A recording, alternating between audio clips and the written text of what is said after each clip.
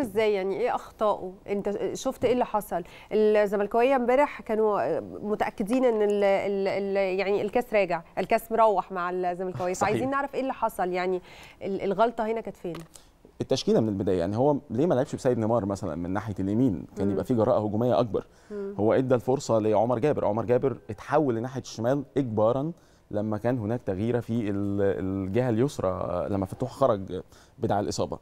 آه طيب بشكل عام انت لعبت بالثلاثه اللي ورا مش كل مرة لازم تلعب ثلاثة أربعة ثلاثة ومشتقات يعني في الطريقة دي مثلا زيزو بيبقى مفقود تماما عشان نبقى واقعيين. عامل زي محمد مجدي قفشة كده لما بيلعب في طريقة 4 3 3 مع الأهلي مثلا. زيزو وإمام عاشور كانوا ممسوكين تماما.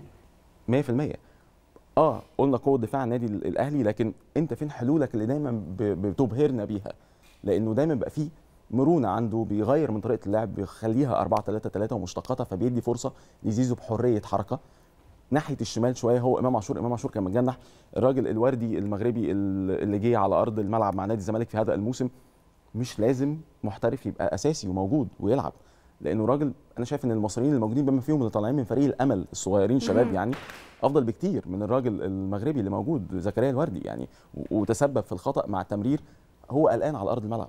طب انت مش عارف حالة اللاعبين ما قبل وضع التشكيل في مباراة زي دي جماهيرية كبيرة الراجل مخضوض. ولذلك مرر بالخطأ. يعني برونو سافيو على سبيل المثال الراجل البرازيلي اللي موجود في النادي الأهلي هو صفقة كويسة في في النادي الأهلي أحسن منه كتير.